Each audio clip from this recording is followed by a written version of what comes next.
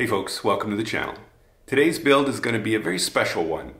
A lot of people have asked me after this build, the Copper Damascus Bowie, could I remake this blade for them?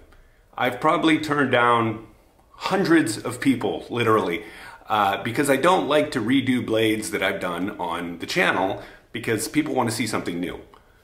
But this one was a special circumstance. I've changed the blade a bit. Uh, I made it a hunting knife style but a viewer, Tim Sims, reached out to me and it's his dad's, his dad Jim, there's Jim, it's his dad's birthday, his 90th birthday. And Jim used to work in a copper mine for 30 years.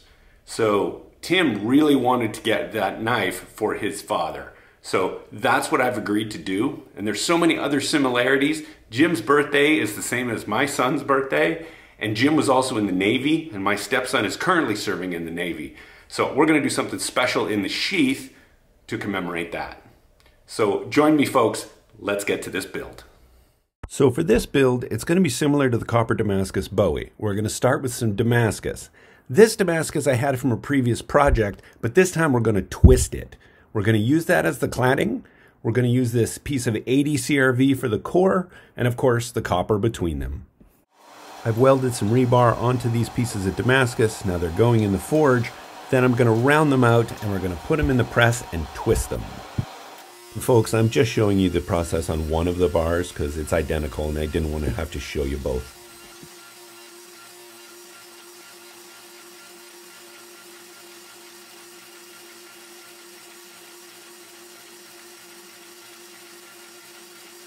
I realized after I rounded this out that I really needed it to be a little longer so it was easier to twist.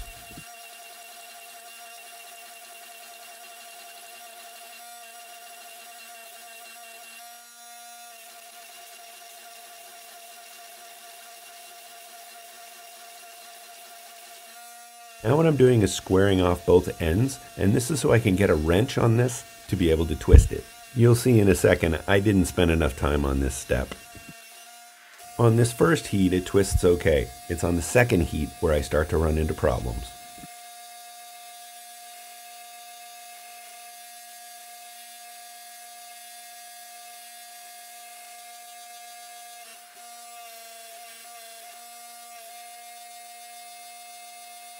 happening now is I've rounded off that square part with the wrench so as I'm twisting it it keeps coming off.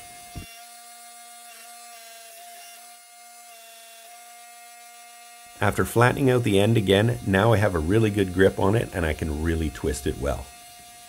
Geez, Dad, that looks like a lot of work. Now that we have the Damascus all twisted up nice, it's time to flatten it back out so we can have a billet we can use on our blade construction.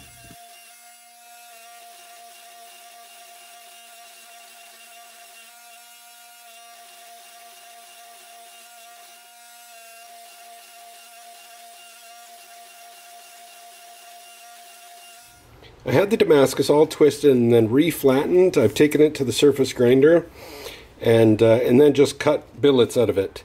Uh, got it all stacked up with the copper and now we're ready to weld it.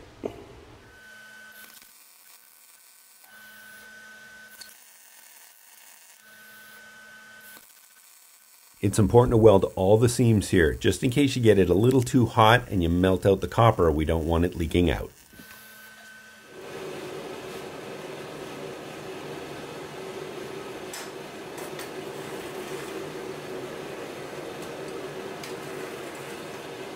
Now it's time to set the welds with some pressure and then we're going to draw out this billet until it's big enough we can form our knife out of.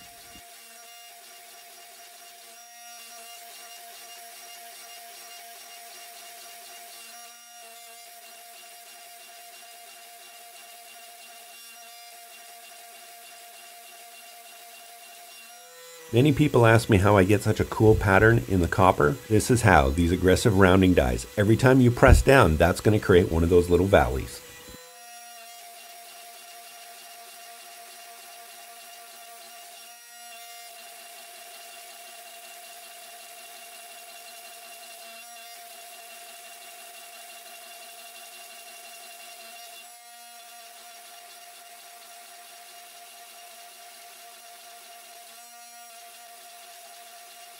Here it is after forging. It's about a quarter inch thick, but after I take the scale off it, it'll be uh, mm, around 3 16ths, maybe a little less, which is just where we want it.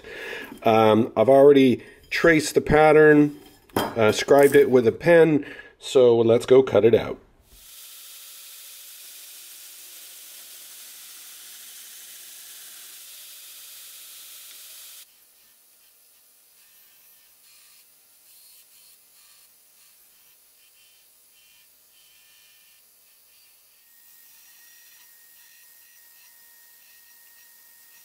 Now I've done the shape and the profile of the knife, I'm going to remove all that scale with an angle grinder because it just eats up belts and belts are expensive.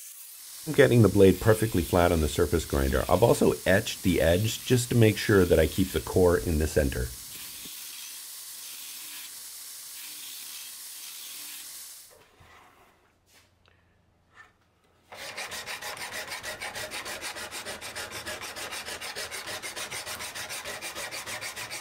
Now it's time to drill the holes for the pins. I'm going to be using 8th inch copper pins on this knife.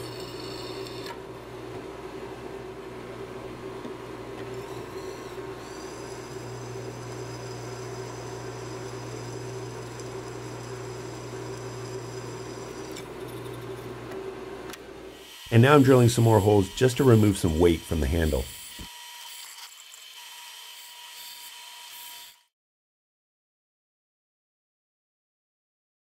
I'm going to take this opportunity to answer a few questions that come up during the copper Damascus Bowie build. First off, a few people asked, once you sharpen this for a while, aren't you going to reach the copper? Here's a picture that shows the cross section of the layers in the knife. Once the bevels are ground in, it's going to look like this. If you were to keep sharpening, you're just going to move that bevel up, exposing more of the core. You'll never reach the copper. The other question I get all the time is, is this really going to be a strong enough knife? You can't weld copper. Well, we're not really welding. Welding means you're melting both metals together. Here we're more brazing, and brazing is over 70,000 psi in tensile strength. So the copper bond is very strong. Plus, we have a high carbon core all through the blade. Another interesting little tidbit the Blade Magazine Knife of the Year for this year, overall Knife of the Year, has copper in it.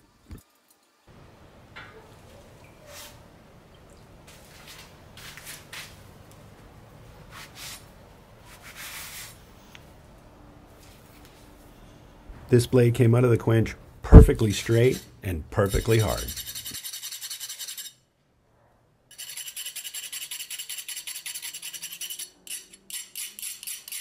Here's the blade after heat treat and temper. Um, looking pretty good. Uh, you can see that rainbow tinge in the copper, but that's all going to come off because we got to do the final grinding now. I've got a Brodbeck Revolution 120 grit uh, belt on there to uh, put in the bevel. Then I'll probably move to the P-Flex 120 grit and then up the grits. Let's go.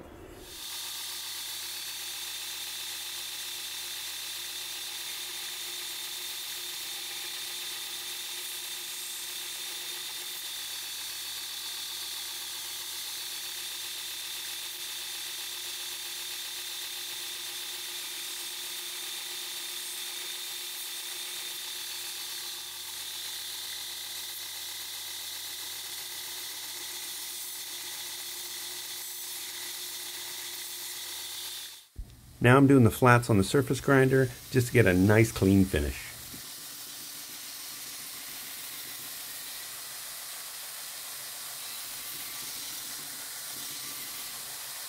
Now I'm moving on to these P-Flex belts that are super flexible, great for doing plunge line.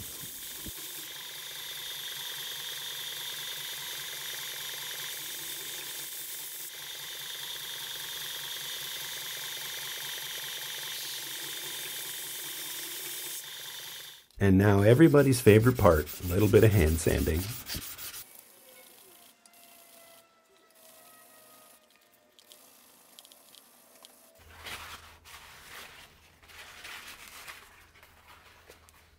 And now for my maker's mark. These are stencils that I buy from IMG Electromark, and uh, this is just a car battery charger set at 10 amp. So that works really well. I've never had a problem doing that, so that's what I use.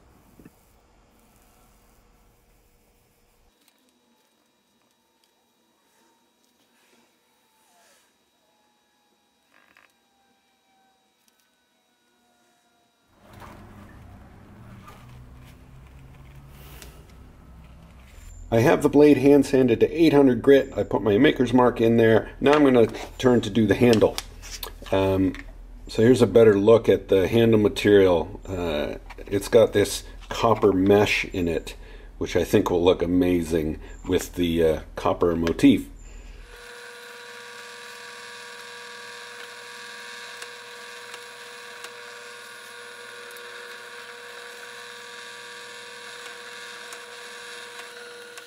This is a great trick to put a dome on your pins just to get them to go in easier. Just run your drill in reverse, put them on your grinder, away you go.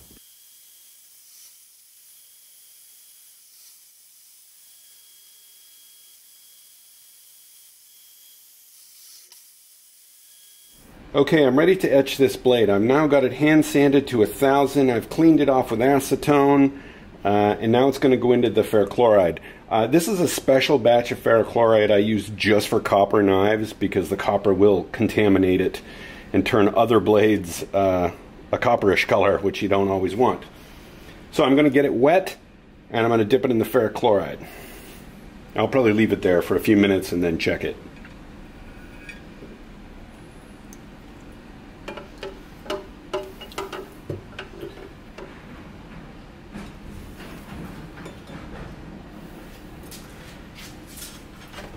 You see, what'll tend to happen is the copper will start to bleed like this, and that's when you need to take it out.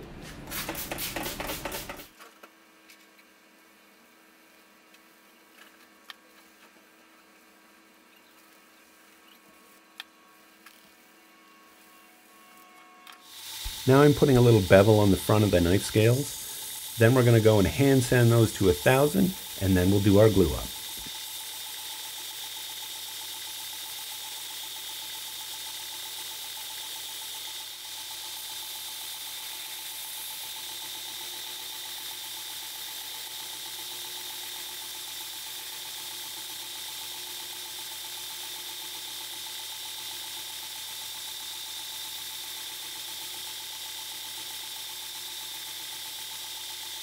Okay, we're ready to glue up the handle. I've got everything cleaned with acetone. Uh, I've got my uh, two-part epoxy ready. I got a little bit of acetone and Q-tips to wipe off the excess.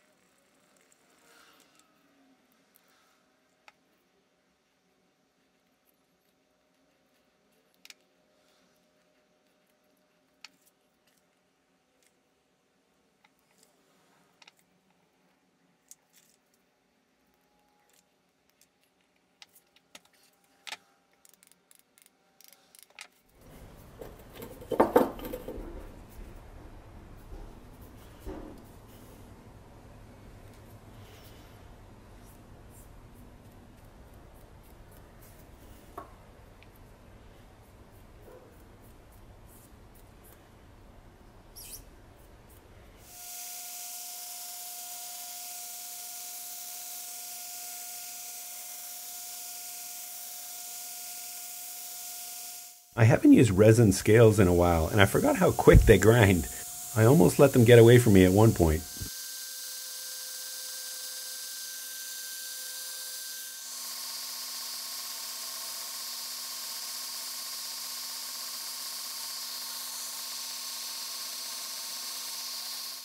Here I'm doing some final contouring of the handle, getting ready for the hand sanding.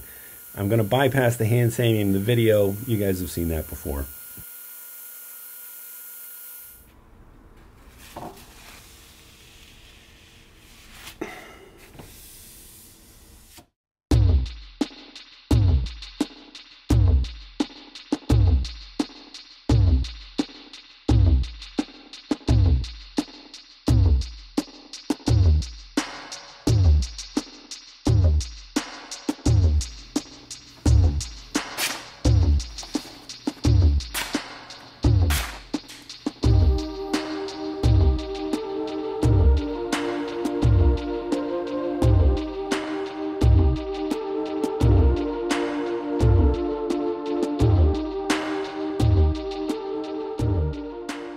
So there's the completed knife, folks. Uh, I had a really good time doing this one. Uh, Jim, happy birthday. I hope you enjoy this knife. Uh, say thank you to your son for reaching out to me, and I hope you enjoy it for years. Thanks, folks. We'll see you on the next one.